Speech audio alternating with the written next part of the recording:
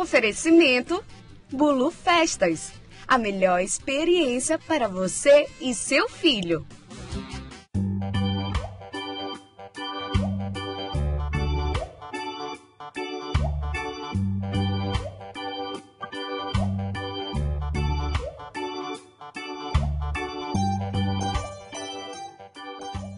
bicho de hoje tem asas, patinhas e antenas. Algumas pessoas confundem ele com pequenas mariposas.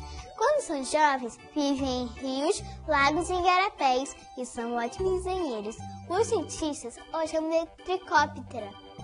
Mas o que é um tricóptera? Tricóptera é um grupo de insetos que possui todos os estágios jovens aquáticos e só sai da água quando se torna adulto para se reproduzir.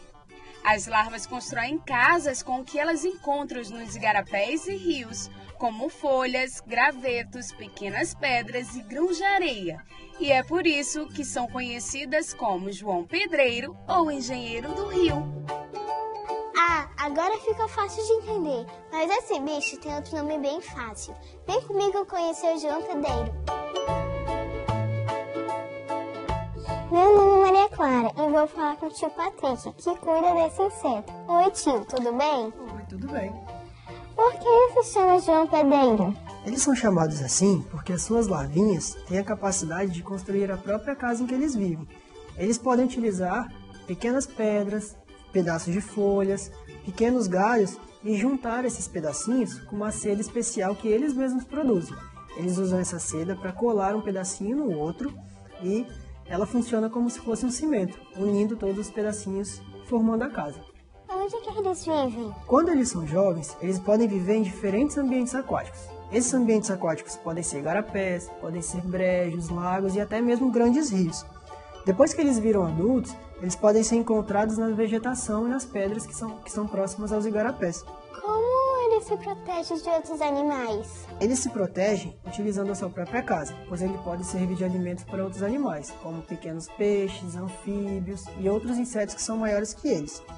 Os materiais que eles utilizam para construir essas casas, lembra que eu te falei que eles são é, do, do próprio igarapé, como pedras e folhas? Então, eles ficam muito parecidos com o ambiente em que eles vivem. Eles se protegem por camuflagem. Eles se disfarçam dentro do ambiente onde eles vivem, ficando muito parecidos com a própria casinha que eles constroem. Ele pode me machucar? Não, não pode. Muito pelo contrário, eles são inofensivos. Esses animais têm uma característica muito legal.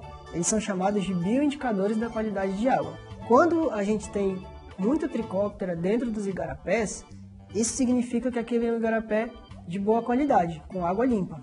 Ele é importante para a natureza? Como posso protegê-los? Sim, sim, eles são muito importantes para a natureza. Além de servirem de alimentos para outros animais, que isso é uma função bastante importante, eles atuam como fragmentadores, ou seja, eles vão pegar pedaços grandes de matéria orgânica, como folhas e troncos, e vão cortar essa matéria orgânica em pedaços bem pequenininhos, disponibilizando alimento para outros animais.